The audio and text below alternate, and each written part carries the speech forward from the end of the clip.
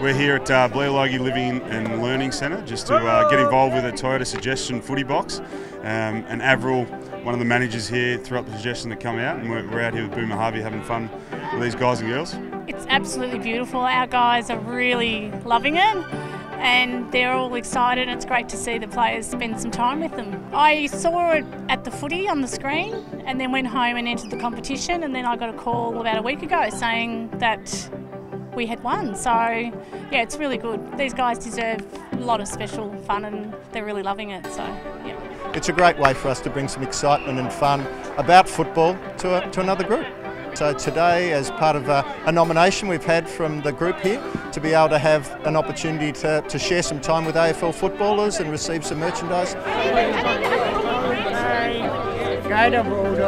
Having a day like this, it's really good for their spirits and yeah, being part of the community again. A lot of Richmond supporters, unfortunately. Um, but yeah, no, look, they're, they're fantastic. Always willing to learn, which is which is good. And um, kicking might have need to improve a little bit, but the handballing was spot on.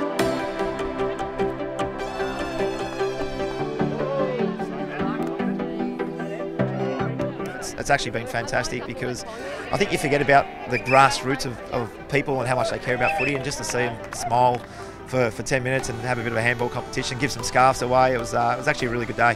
I said this whilst I was playing that these are the most enjoyable. Um, you know, these these guys with you know learning disabilities and had a pretty tough life, but you come out here and you have, in all honesty, the most fun out of any of the visits we ever do with footy clubs and you know even post footy. So and to see the smile on the face, I said walking in here they hadn't had too many visitors because of the current circumstances. So to come out here and put a smile on their face, even though Boom and I obviously both retired, um, no, it's great. They're, they're loving it.